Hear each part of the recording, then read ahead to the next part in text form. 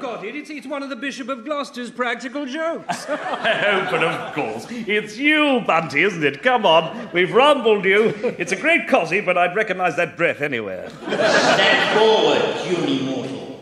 Do you know the penalty for addressing the Prince of Darkness as Bunty? Look, Bunty, old chap, this has been a very entertaining diversion and all that, but we do have quite a few items to discuss, including a quite tricky debate on whether we should sign this Cassock sponsorship deal with Benetton. Uh, so, if you wouldn't mind just sort of winding up all this jolliness and... Uh, you're all right, Bunty, old thing. You, you suddenly look very tired.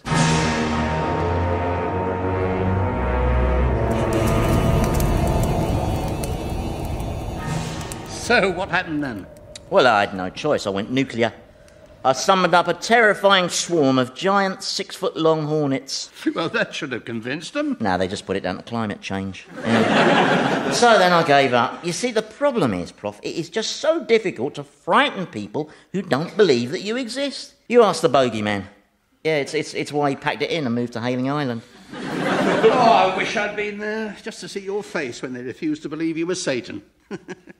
Your eyes turned purple, didn't they? I, I, was very cool about it, actually. It was, it was the kind of response I was expecting, frankly. Oh, really? Why? Well, it's all part of a pathetic self deluding trend. You know, nowadays humans like to see themselves as oh so rational, you know, all intellectual and sceptical. Of course, it wasn't always like that. Oh, no, no. In medieval times, I just had to put in an appearance, and before you knew it, people were burning each other at the stake and drowning old women in ponds.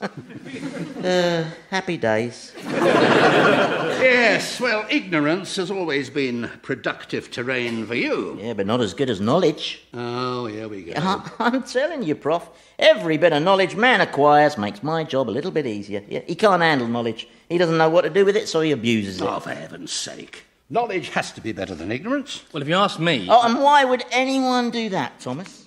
Why would anyone invite the opinion of the lowest life form this side of an amoeba's arsehole? so you just keep cowering in your corner there and shut your festering face hole. Now, don't start on him. I'm sorry, Professor, but Thomas being here with you is something I only allow under sufferance. He's the most venal.